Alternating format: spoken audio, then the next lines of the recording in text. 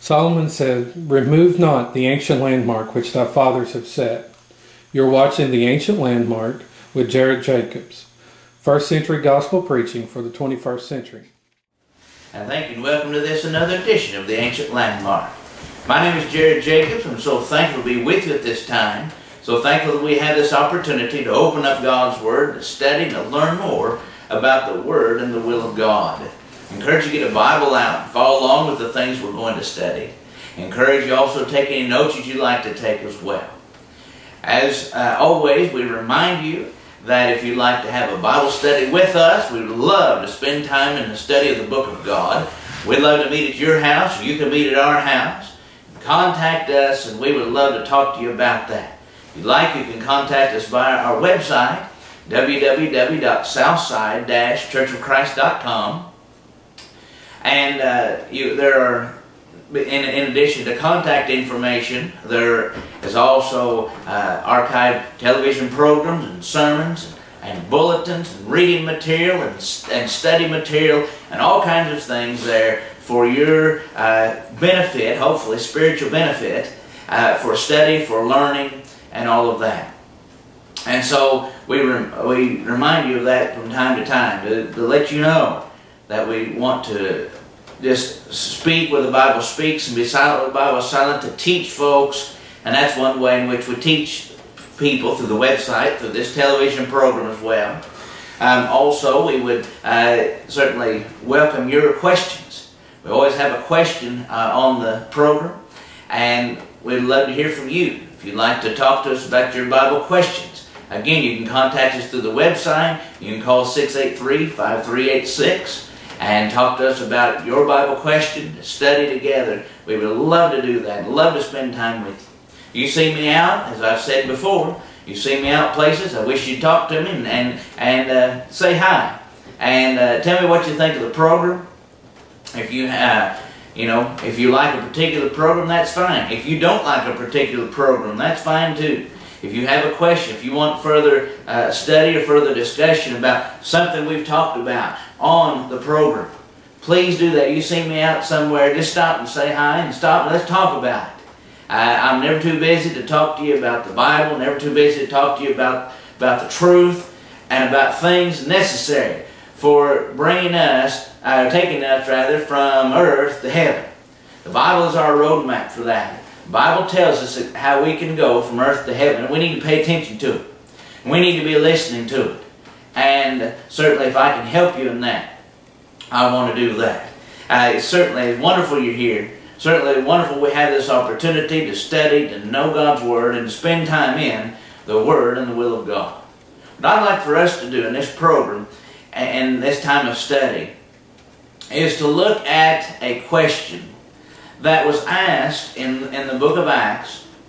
A question that is, on, on one hand, is a very basic question. It is. On the other hand, it is a controversial subject. And it's a controversial question. And the reason why it is controversial in nature is because people uh, give us different answers for it. And so what we need to do is we need to go and see what God has to say. What is God's answer to this question? And so we want to look, beginning in the book of Acts chapter 2. Acts chapter 2 is going to tell us the question. And in fact, we, are going to find it uh, a few different times in the book of Acts, and we'll look at all of those occasions as well as we study together. So as we're beginning, let's look in the book of Acts chapter 2.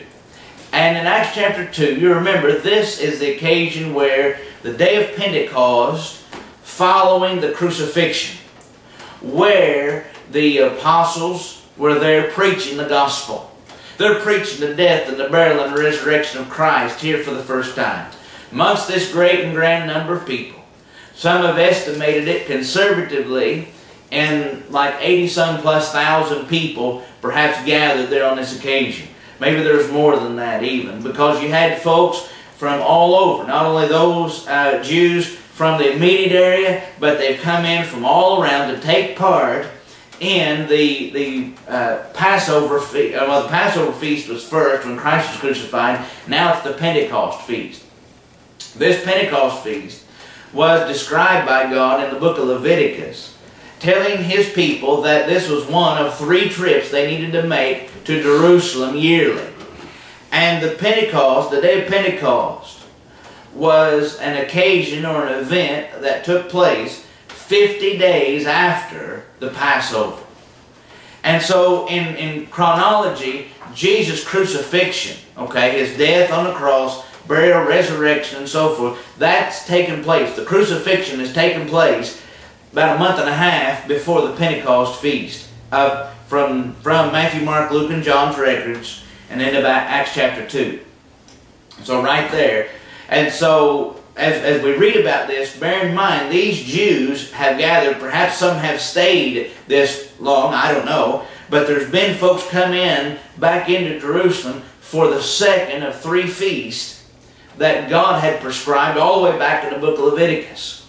And now as these folks were gathered there on the day of Pentecost, the Bible says that the Holy Spirit fell upon the apostles they spoke as the Spirit gave them utterance, verse 4, and that what they were speaking was the wonderful works of God. In other words, they're preaching the gospel of Christ. They're preaching the truth to those who would listen.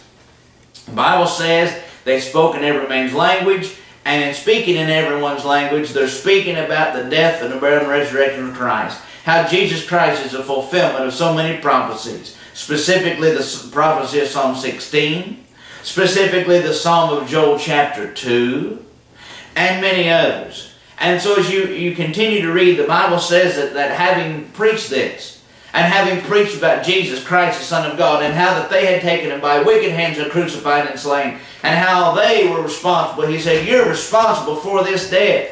Having said those things, the Bible says, the Bible tells us this, verse 36, as the Apostle Peter is speaking, he says, Therefore, let all the house of Israel know assuredly that God hath made the same Jesus whom you've crucified, both Lord and Christ. Now verse 37, after telling them verse 36, saying, God hath made this same Jesus whom you've crucified, He is Lord and Christ. He is our ruler, He is the anointed one, He is Messiah. Messiah that was promised is Jesus Christ, and you just killed Him. You killed Him, as we understand it now, as we, we've already seen this, you know, you killed him about a month and a half ago. You killed him 50 days ago. When they heard this, verse 37, they said to Peter and the rest of the apostles, Men and brethren, what shall we do? What shall they do? That's the question. In other words, what shall we do in response to this uh, charge in other words, they felt guilty for it. What shall we do? We are guilty now. A little bit later, the question will be asked this way. Sirs, what must I do to be saved? And so as, as we think about that question, that question takes a couple forms. One form is here in Acts chapter 2. What must we do? What can we do? I mean, we're guilty of the death of the Son of God. We're, we're guilty of, of this murder. And we are, here is the Messiah, here is the Savior, here is God's own Son, and we've killed him. Men and brethren, what shall we do? And the answer comes back. Verse 38. But I'm not going to tell you what it is just yet. You look again in the book of Acts, and also we read uh, of another occasion. In the book of Acts chapter 9. In Acts chapter 9, we read of Saul. Saul of Tarsus, the Bible says, he's, he is one who was responsible for many deaths, the deaths of Christians, I should say it that way. He is responsible for the deaths of Christians. He's responsible, he said, I took men and women, I drug them into prison, I compelled them to blaspheme. As he talks about his life later in Acts 22, he talks about this in Galatians chapter 1 and other places. I was more zealous than my fathers, and I compelled folks to blaspheme. I consented to their deaths. He consented, Acts chapter 7, to the death of Stephen. Uh, we find him continuing to persecute, and persecute, and persecute. By the time you get to Acts chapter 9, Saul, it says, was breathing out threatenings and slaughters against the disciples of the Lord. And having breathed out these threatenings and, against the disciples of the Lord, he was going to go to Damascus, the Bible says. And that if he found any of that way, of this way, in other words, he found any Christians there in Damascus, Acts 9 2, which he would find those. Find Christians in Damascus, whether there were men and women, he might bring them bound to Jerusalem. And as he journeyed, verse 3, he came near Damascus, and suddenly there shined a light round about him from heaven. And he fell to the earth. And he says he heard a voice from heaven saying, Saul, Saul, why persecutest thou me? He said, Who art thou, Lord? Now to say, Who art thou, Lord, at this point was a term of respect. It's a term of respect for someone who is greater and more powerful than he. And he says, He just been knocked to the earth. Who are you, Lord? He, and then as you continue, the Lord said, I am Jesus, whom thou persecutest. It's hard for thee to kick against the pricks. And he trembling and astonished said, Lord, what will thou have me to do? Will have him to do for what? Again, he's been found guilty of the persecution and deaths of Christians. And Jesus says, You're guilty of persecuting me. Now you look back in Acts chapter 2, and those folks were guilty of killing Christ. And they said, What shall we do? He says, What will you have me to do? And Jesus says, Go and arise and go into the city, and it will be told thee what thou must do. In other words, Jesus didn't tell him on the road. In other words, Saul, get ready, Saul was not saved on the road to Damascus. He was just as much a sinner here on the road to Damascus as he was the day before and as he was the year before. He was just as much a sinner then as, as, as before. But he says, what we have me to do, Jesus says, arise and go into the city, and it'll be told thee what thou must do. And so he's going to go into the city, and there he's going to meet a man named Ananias. And Ananias will tell him what to do. Now, what did Ananias tell him to do? Hold it right there. Third place we want to go. Acts chapter 16. In the book of Acts chapter 16, we read here about a man named Paul, the Apostle Paul. Well, that was Saul of Tarsus from Acts chapter 9. And he was told what to do, and he did it. We're going to talk about what he did. He was told to do, and, and he did it. So you jump ahead in time to Acts 19. Now, this man who was formerly a persecutor of Christians is now persecuted for being a Christian. And he is suffering. He is preaching the gospel of Christ, and he is suffering for the fact that he is doing this. And so much so that in Acts chapter 16, when they go into the city of Philippi, and they preach, and they, they preach against the idolatry, and they preach against the, the sin of that city, and so forth. And continuing on, it was found that they cast out the devil, a devil out of this uh, gal. Some, and they said when that happened, they said there was a man who was using her kind of like a, a, a soothsayer, kind of like a fortune teller type situation.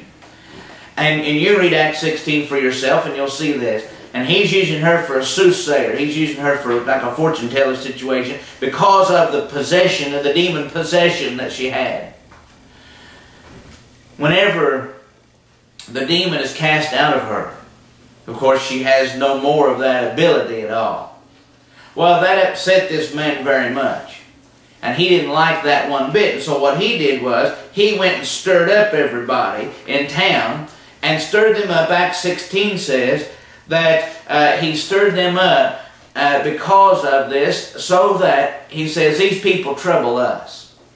And he was telling the people in town, he says, they teach customs which is not lawful for us to receive or observe, being Romans. That's verse 21. Well, that was a lie. He didn't say anything. Paul, the Apostle Paul, Silas, Timothy, and all those others that would travel with him from time to time. In this case, we're reading about Paul and Silas. But they're not teaching things that are unlawful to do. They're not teaching things that are sin, sinful at all.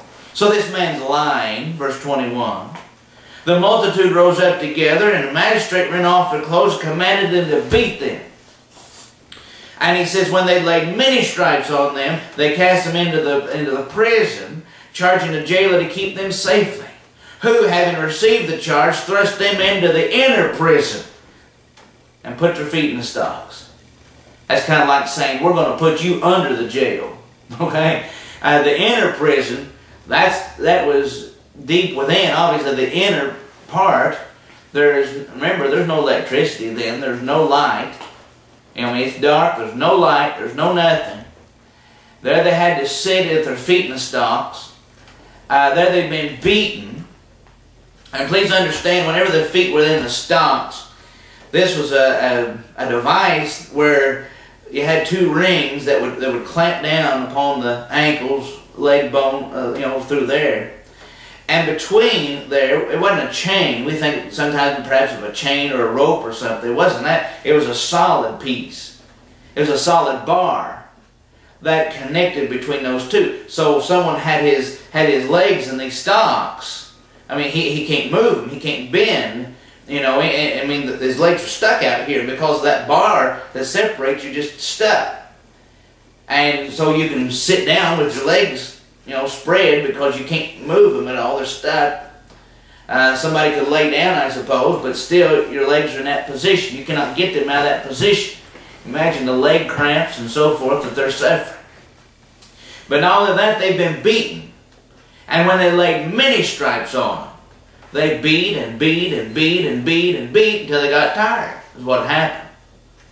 Uh, sometimes we, folks talk about the 39 stripes 39, and it's true, there was a, a, a, law concerning just being beaten 39 times, but that was for the Jews. The Romans were under no such law, and the Romans had no such conscience about that. So they just beat you till they got tired. And that's the kind of, by the way, just as a side note, that's the kind of beating Jesus took too. Jesus was beaten by the Romans. He was not beaten by the Jews. The Apostle Paul was beaten on this occasion. He's beaten by Roman people. Yes, he was beaten by Jews, and the Bible says, I received my 39 stripes, save one, and so forth. In other words, he's beaten by the Jews, and he's beaten by the Romans too. It just depends on the situation. Acts 16 is Romans. Continue reading. Because now here he is, uh, his back is bloody, it hurts to breathe, to lay down on your back, that's, you know, you're not going to do that.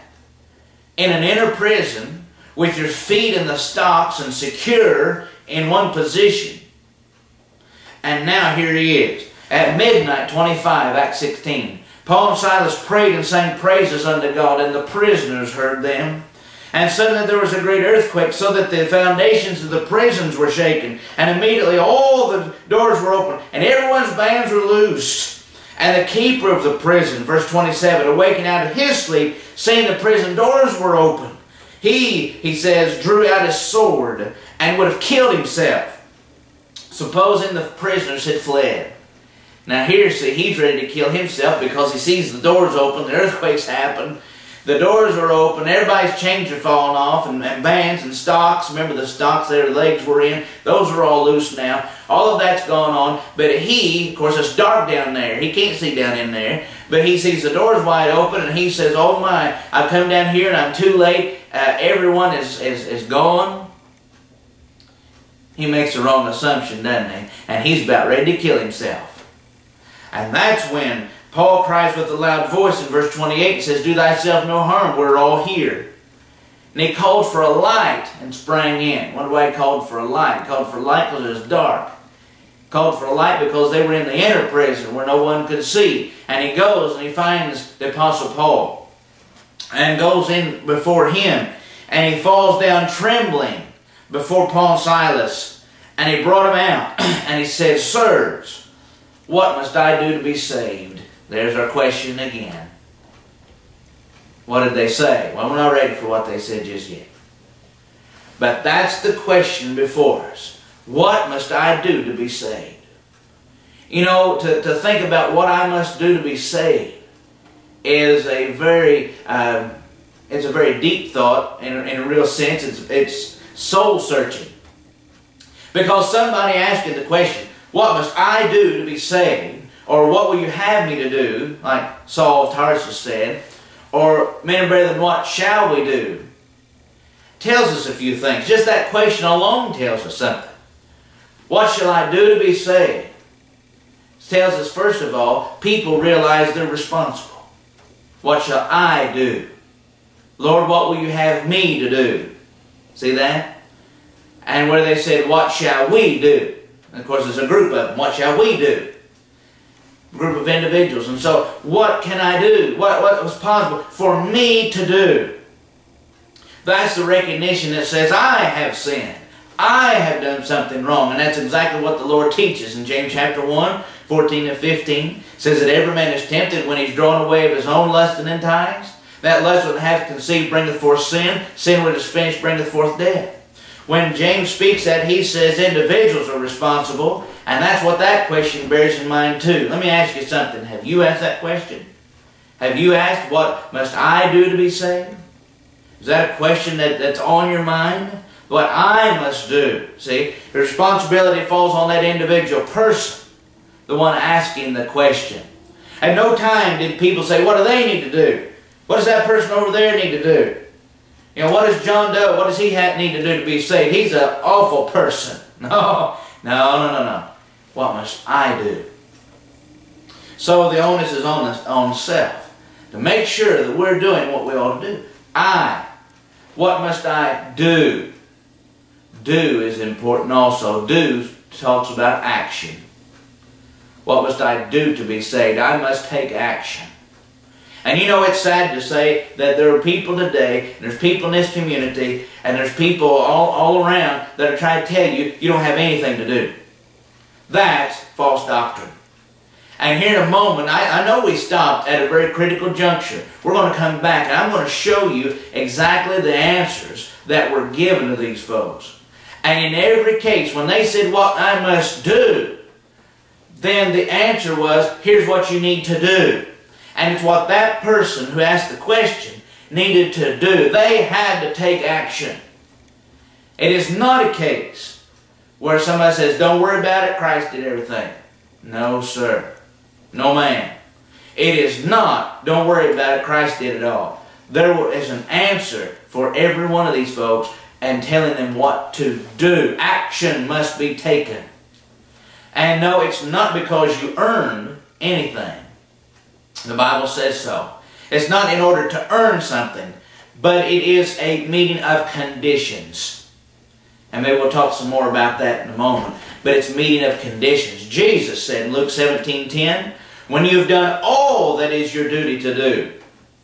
Say we are unprofitable servants. We've just done what is our duty to do.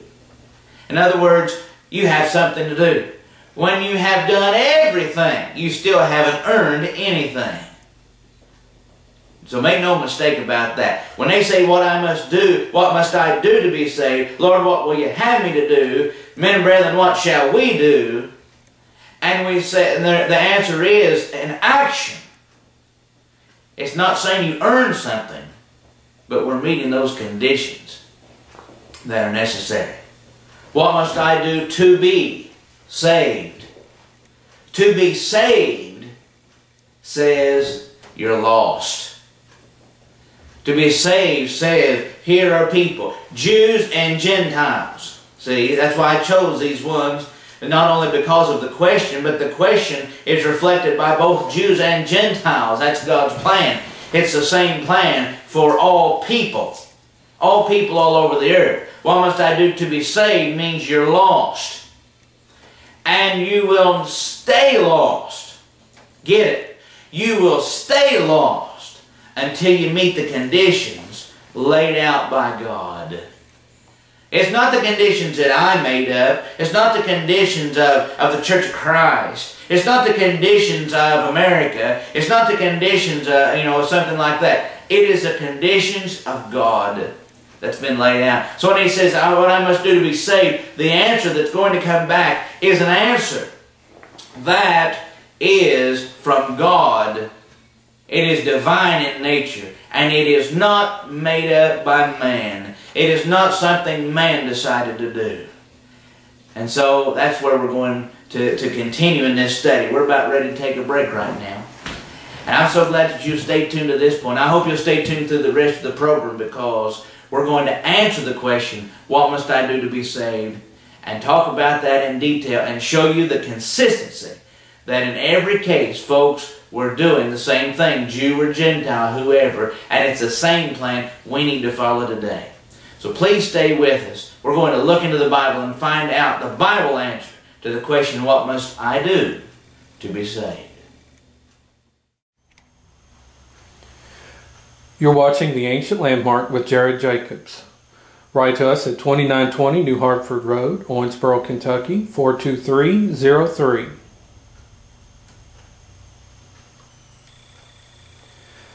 Visit us at Southside Church of Christ. Our website is www.southside-churchofchrist.com.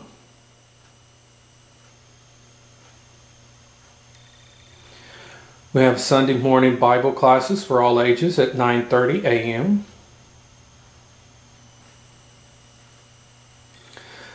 Sunday morning worship service at 10:20 a.m. and Sunday afternoon worship at 5 p.m.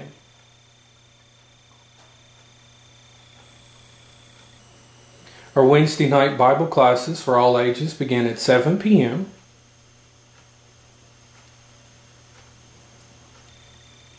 Write to us for a free correspondence course.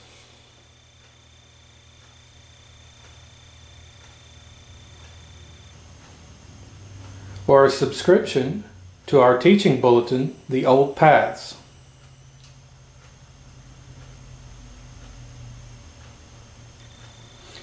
We invite you to tune into our radio program, What is Written, from 12:30 to 1 p.m. Sunday on WBIO 94.7.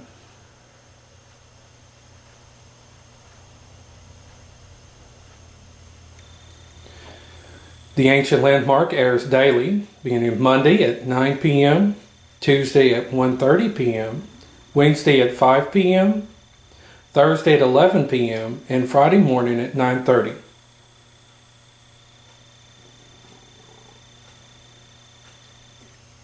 Again, our address is the Ancient Landmark, 2920 New Hartford Road, Owensboro, Kentucky, 42303.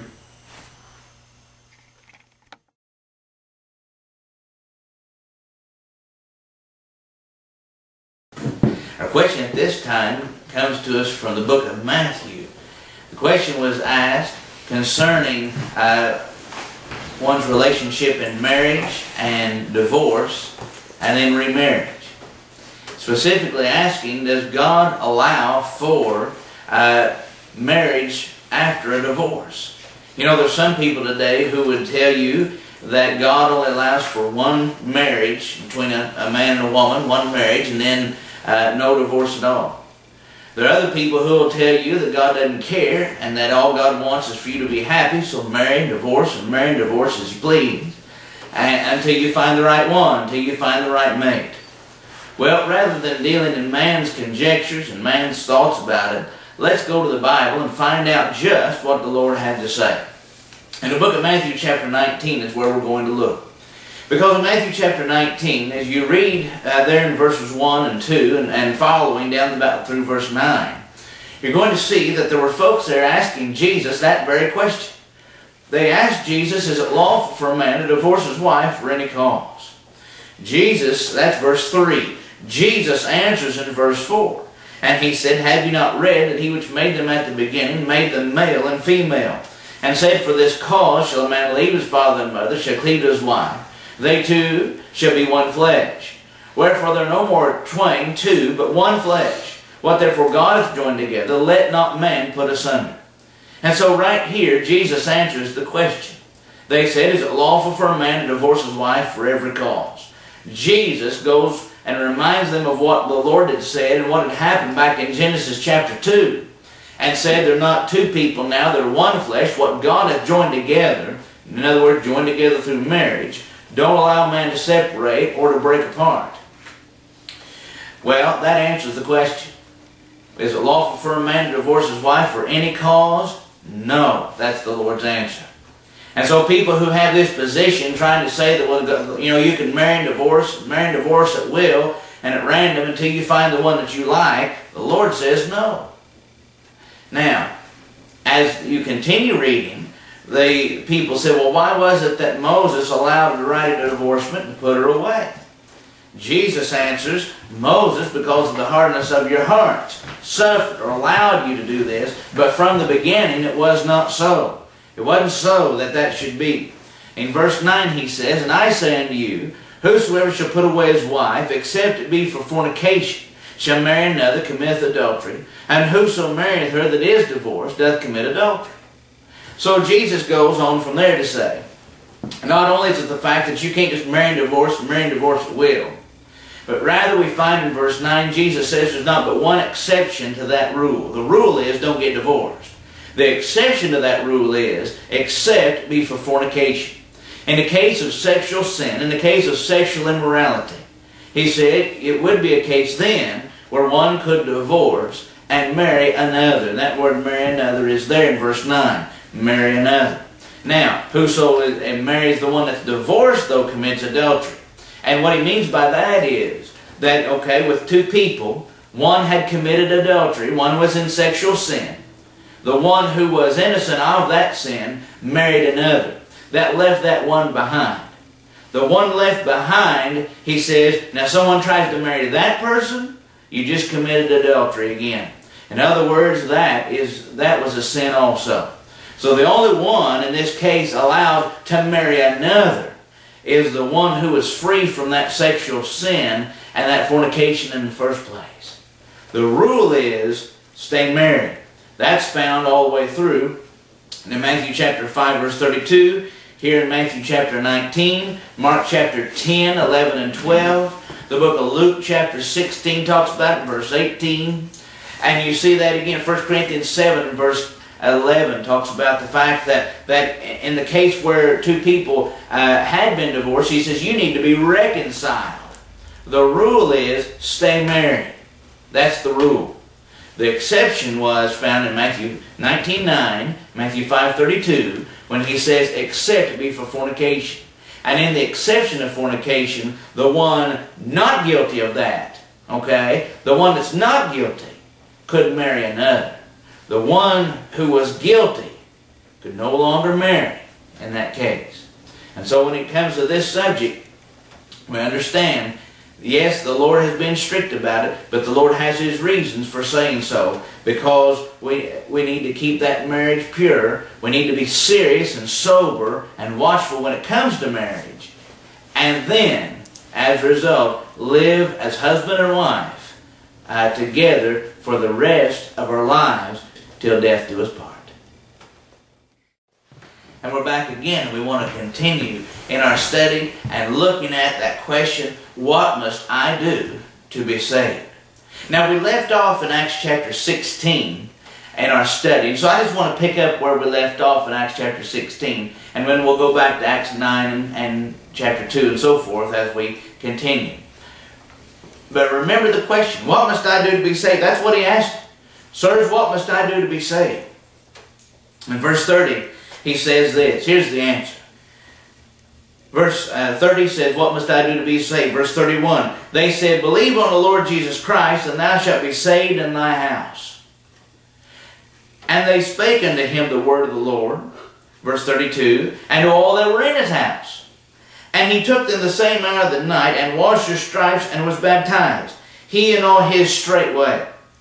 And when they brought them into his house, he sat meat before them and rejoiced, believing in God with all his house. That's down to verse 34. And we'll stop there for a moment. Now notice the, how this answer comes about.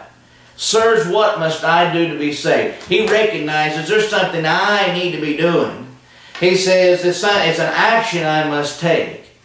And I must be saved because I'm lost. What must I do? This man had heard the word anyway.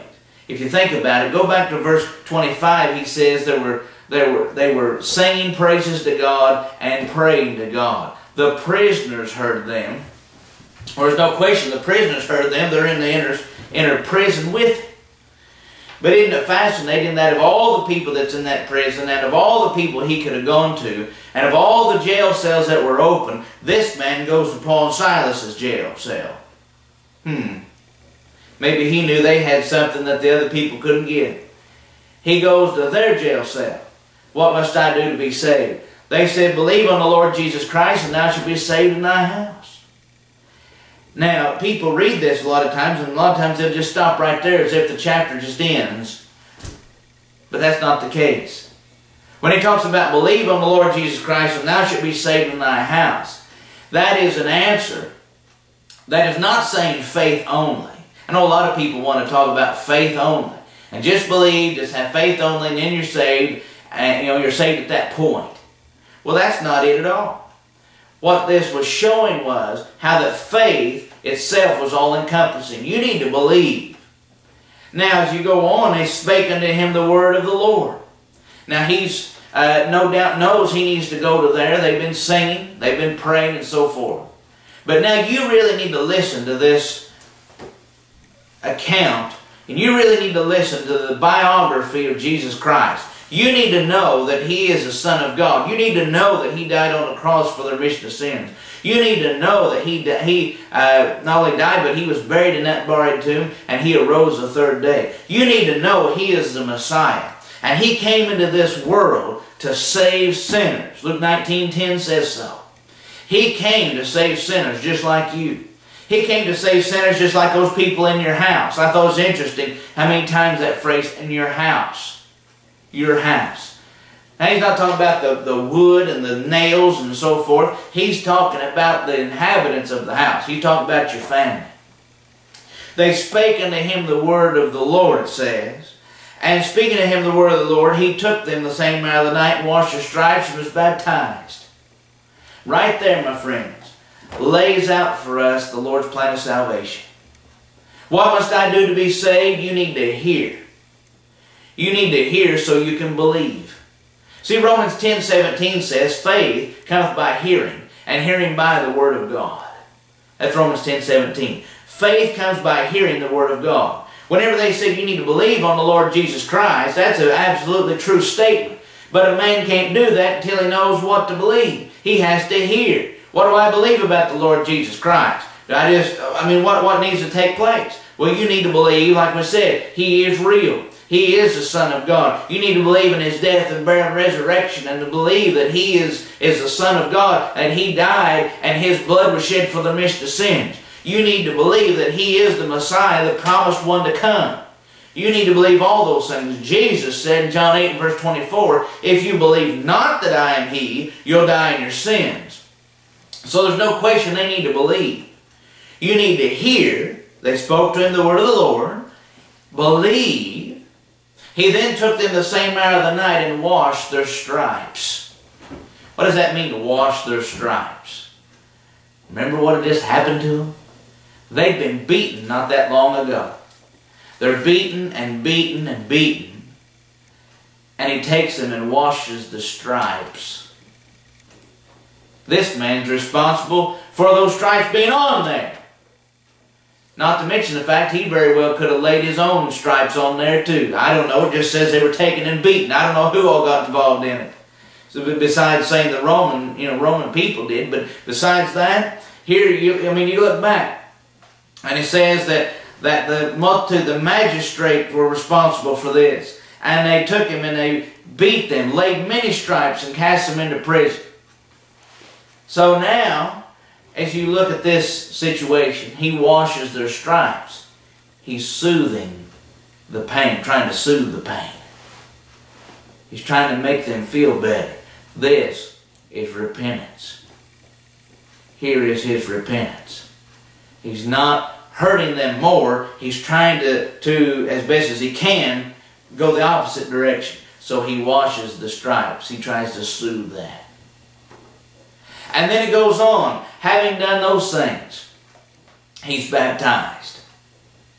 What are you baptized for? Well, the Bible says you're baptized for the purpose, for the reason of forgiving men of sins. And we know this as well because having been baptized, he and all his straightway. In other words, it was him and it was those of his household. It was him and those of his family. When he brought them to his own home, set meat before them, he rejoiced, believing in God with all his house. There's that believing in God again. See, just like in the front part, of the first part, verse 31, just like there, he says believe. Now, the last part, he says he, he was believing. And so that's how we see faith as comprehensive in nature. Faith is going to include repentance, It's going to include uh, our baptism. It's going to include confession, so far as that's concerned. You know, we need to confess Christ as the Son of God. That's a necessary thing. In the book of Acts chapter 8, I know we skipped that a moment ago, but you look there now in Acts chapter 8. And there in verse 36 uh, down through verse 38, when the, when the Ethiopian eunuch was taught the truth, whenever Philip, Acts 35, began at the same scripture and preached unto him Jesus, they came to a certain water. And having come to a certain water, he said, the eunuch said, See, here is water. What doth hinder me to be baptized? What's stopping me from being baptized? He said, If you believe with all your heart, you may. Remember that belief? So you had your belief again, and then he says, I want to be baptized. What's stopping me? You need to believe. He says, I believe that Jesus Christ is the Son of God. And based upon that confession, he, they commanded the chariot to stand still, and they went down into the water, both Philip and the eunuch, and he baptized him.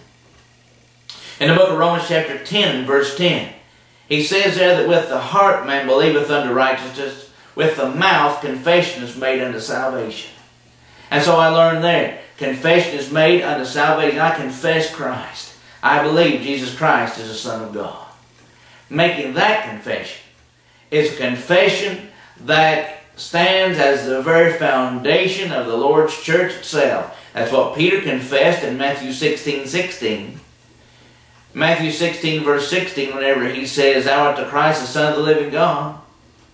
And that confession of I believe Jesus Christ is the Son of God was one that would hold these folks and would help them to endure in the coming days of the first century and even into the waning days of the first century and on into the second and so forth whenever persecution came upon God's people and the very thing they had to do was deny Christ.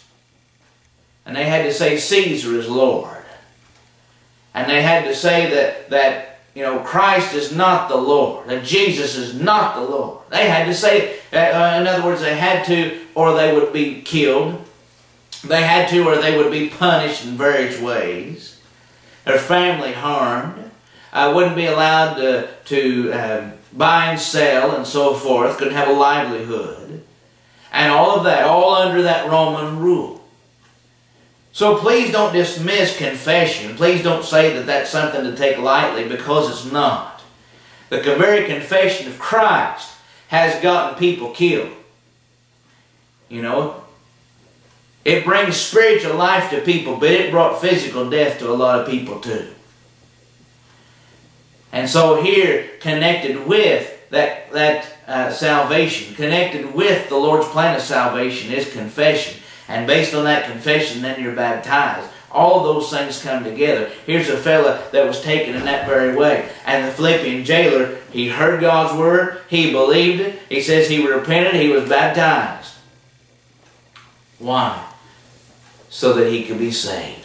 What must I do to be saved? There it is. You see this again in Acts chapter 9. You remember we left off, here's, here in Acts chapter 9 was where Saul of Tarsus Said, Lord, what will you have me to do? Lord, what do you want me to do? And I'm going to do it. Well, you go into the city and it'll be told you what you must do. Jesus didn't tell him what to do to be saved. He said, you go into the city and you'll find out. He goes into the city and he meets there. He was blind, you remember, for three days. He spent his time in those three days fasting and prayers. He is a man who then was told that Ananias comes in to where he was staying. He comes in. He has he he. Uh, uh, the Bible says came into him. He put his hands on him. Acts nine seventeen. Put his hands on him so that the that the what appeared to be scales came off of his eyes, and he was able to see again. And he arose. The Bible says, and he was baptized. Acts nine eighteen. He arose and he was baptized. And somebody says, "Well, now I didn't read about all that other about." You know, faith and repentance and all that kind of stuff right there. And then it just says he rose and was baptized. Well, yes, but remember when he was at, on the road to Damascus and he talked to him and he Jesus spoke to him, Lord, what will you have me to do? Arise and go into the city and be told thee what thou must do. Whenever he asked, uh, before this, whenever he asked, who are you? And he said, I am Jesus whom you persecute. The next time he says Lord, he's not saying Lord as just somebody that's superior to me and I don't know who you are. He's calling him the Lord of heaven.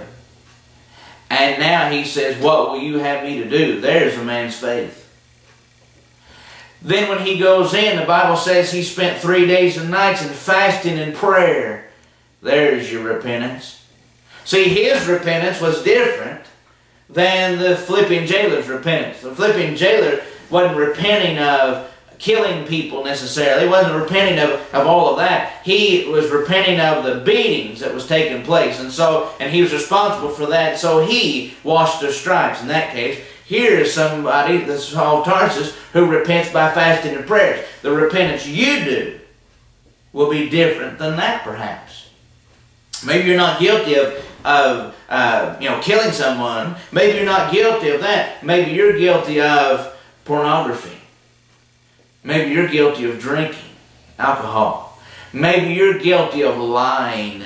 Maybe you're guilty of, of stealing things. So you're going to have to repent of things in a different manner than what these fellows did. Uh, what you, you understand? So it's not going to be uh, that everything is a cut and dry repentance the exact same way. Repentance just means, here's what the word repentance means. A change of mind that results in a change of your life. Quite literally what it means is about face, forward march. He's turn, you turn away from that old life and you want to live a new life. That's what's happening with Saul Tarsus here. That's what happened with the Philippian jailer in Acts 16. And so his repentance is fasting, prayers before God. He believes on Christ. He repents. When the scales are taken off and fall off from that miracle performed, he's then told to rise and be baptized. That's what you need to do. See? And that's exactly what he did. And he was baptized so as to forgive him of his sins. He wasn't forgiven on the road to Damascus. Somebody says, oh yes, he is. Somebody said, my preacher told me that he was saved when he fell off his horse.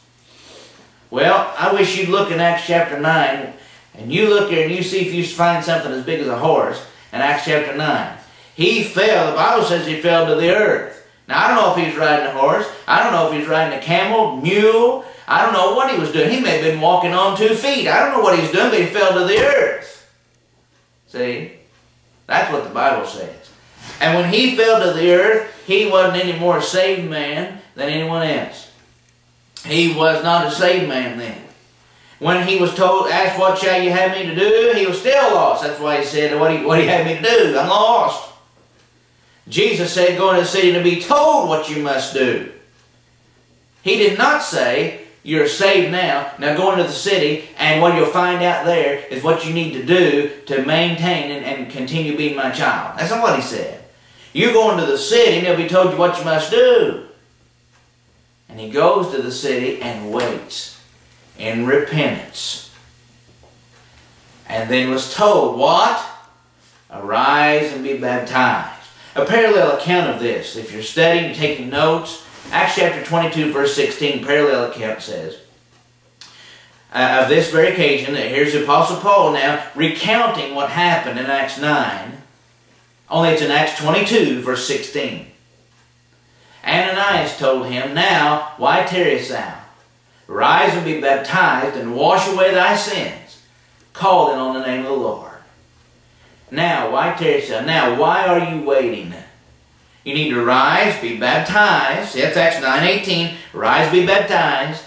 Okay, Acts 22.16. Rise, be baptized, and wash away thy sins. Calling on the name of the Lord. Now I want to ask you something. If Saul is saved on the road to Damascus, what sins does he have to wash away? That passage says, "You arise and be baptized and wash away your sins.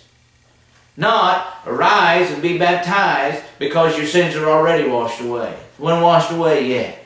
They weren't taken away. He wasn't forgiven yet, but he was forgiven when he was baptized. Now, was it baptism alone? No, sir. It was no more baptism alone than it is, folks say, you're saved by faith alone. Faith alone is not a Bible doctrine. It's not found there. Baptism alone is not a and is not a Bible doctrine, not baptism alone. It's not anything alone. In fact, whenever you study uh, this subject of salvation, and you look up in the Bible all the ways in which God's connected salvation, there's no less than 25 things that are said to save you. Whether you want to talk about God saving us, Christ saving us, the blood saving us, grace saving us, to talking about faith saving you, baptism saving you for uh, uh, in uh, 1 Peter 3.21, baptism saving you, and uh, on down the list. He that endureth to the end shall be saved. So we put those in context, of course. I understand that. We put those things in context, but the salvation part, it's not salvation by anything alone.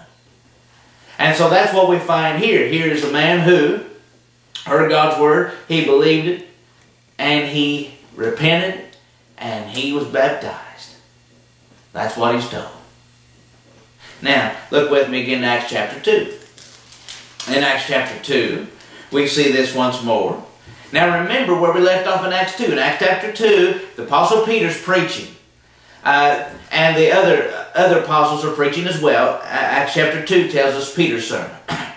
now, in that sermon, he said, remember, let all the house of Israel know assuredly, God's made the same Jesus whom you've crucified, both Lord and Christ. They said, men and brethren, what shall we do?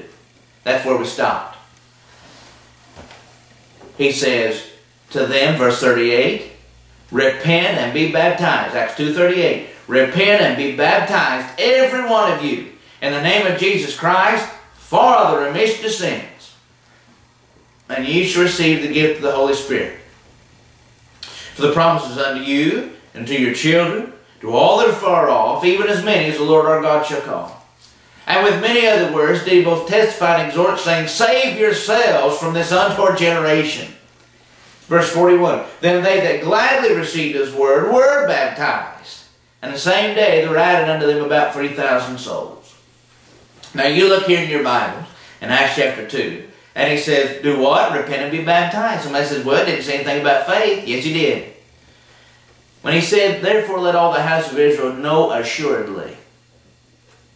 See, based on what they heard, okay, based on what they heard, Romans 10, 17, produces faith. He said, know assuredly. To know assuredly is to believe. That's what that is. Let all the house of Israel know assuredly. Let all the house of Israel believe God hath made the same Jesus, whom you've crucified, both Lord and Christ. Then when that happened, when that was said, when that was taught, what shall we do? We believe, what shall we do? Now, if it had been salvation by faith alone, this is the time when Peter can say, listen, folks, you're done. You believe you're done. Congratulations, you're saved. You have nothing to worry about anymore, right? That's not what he said, though. That's not at all what he said. Once they know assuredly, once they believe, what shall we do? He said, repent and be baptized. There it is again. Repentance and baptism. See? And when you repent, you've turned away from those sins, you're baptized for the remission of your sins, baptized in water. The element is water. Somebody says, how do you know? Acts chapter 8 says, Acts chapter 8 tells you that they came to a certain water. Remember that? Verse 36 down through verse 38. They came to a certain water. He said, what shall, uh, you know, what hinders me? What's stopping me? They went and then he confessed Christ. And based upon the confession of Christ, as we've already talked about, he went and was baptized. They went down into the water and they came up out of the water. See, baptism is a burial in water. It's not sprinkling water on somebody. It's not just pouring a little bit of water on somebody. A burial, a, a baptism is a burial.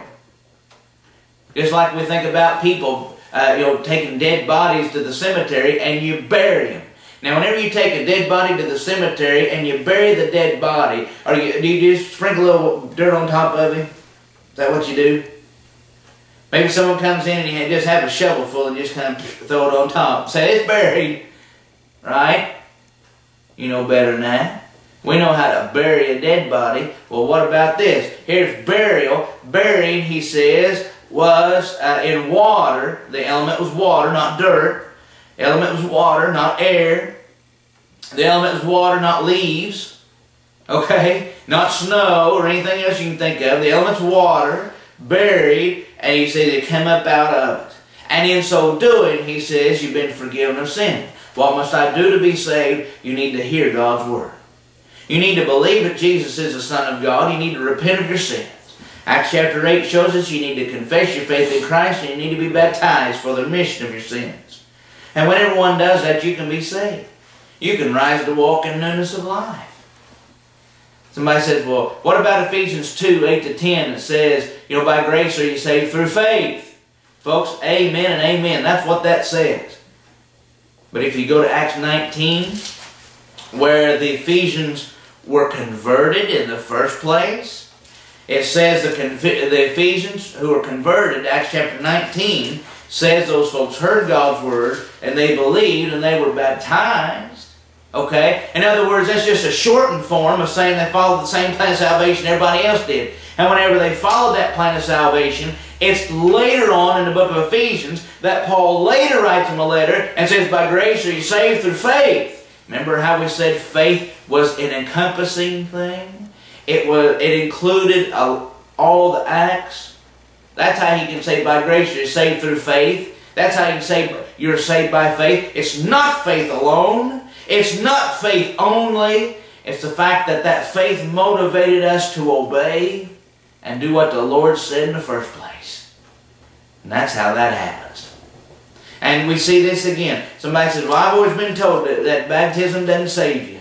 The baptism won't do that.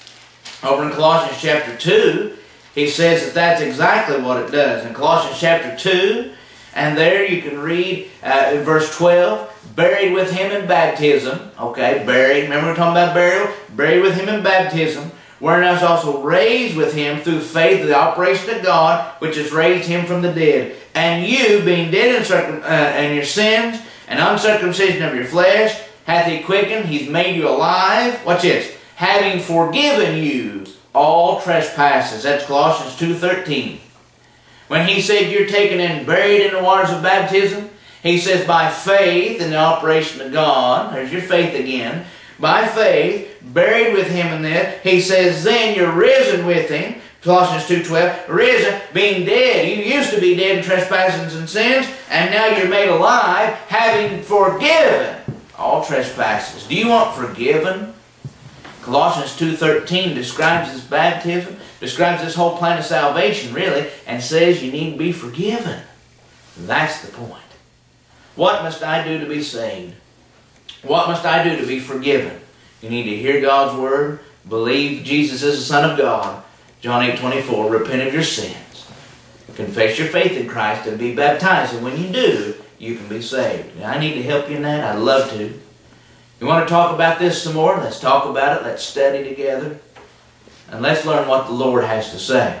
Let's find out what God has to say. We found it. Let's do what the Lord says so we can be saved from our sins. There's no other way to do it. None of it. Do what the Lord says. Be saved before it's too late. So thankful for you listening, paying attention, and staying with us. Until next time, Lord willing, we'll bid you good day. You have been watching The Ancient Landmark with Jared Jacobs, first century gospel preaching for the 21st century. Tune in daily for an in depth study of God's Word.